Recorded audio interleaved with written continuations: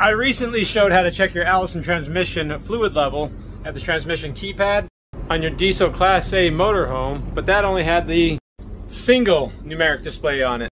So if we do it on one with a double display, see the N and the N. so up and down, transmission level, okay, nice. It actually talks to you. Still have to push in to get out of that screen. But don't forget, you still have to have your transmission up to temperature for that to work.